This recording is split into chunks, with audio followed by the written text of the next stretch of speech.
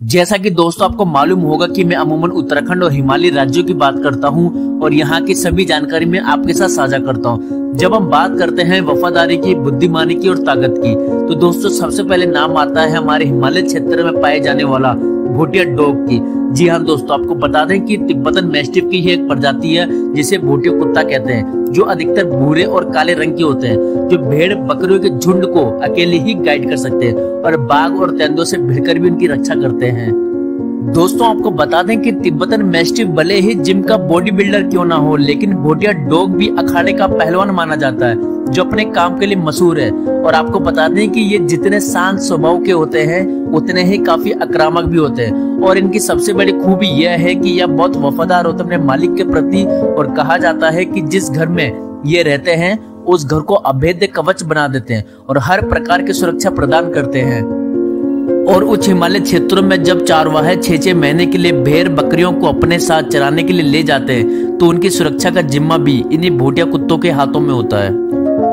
और ज़रूरत पड़ने पर ये बाघ और तेंदुए से भिड़कर भी उनकी रक्षा करते हैं। और आपको बता दें कि ये इतने खतरनाक होते हैं कि कई बार इन्होंने अकेले ही तेंदुओं को परास्त कर रखा है, जिसकी खबर सामने आई है। और दोस्तों, इसलिए मैं आपको बताना चाहता हूँ कि वैसे तो आज कई तरह की नस्ल, कुत्तों की आज इस दुनिया में, लेकिन हमारे उत्तराखंड के हिमालय क्षेत्रों में पाए जाने वाले भोटिया कुत्ता इन सबसे अलग है। और इनकी सबसे बड़ी खासियत यह है कि ये रात के समय में एक ही दिशा में मुँह करके नहीं सोते।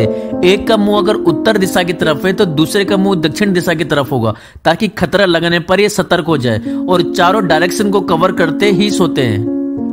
वैसे तो ये बच्चों और परिवार को प्यार करते हैं, और जहाँ भी इनको थोड़ा सा भी शक हुआ कि कोई खतरा है उस पर ये धारदार वार करते हैं। और आपको मैं बताना चाहता हूँ कि अगर आपके घर की रक्षा करने के लिए, या जंगली जानवरों से रक्षा करने के लिए, या फिर खेतों को बचाना है तो यह अव्वल दर्जे का एक कुत्ता और आपको मैं बता दूँ कि इसको लेने के लिए प्रदेश ही नहीं, बल्कि दूसरे राज्यों से भी उत्तराखंड में लोग आते जाते रहते हैं। और उत्तराखंड में प्रसिद्ध मेला, जिसे उत्तरायणी मेला के नाम से जानते हैं, जहाँ भूटिया कुत्तों की बिक्री जोरों शोरों से होती है। और यह कुत्ता उत्तराखंड की शान भी है।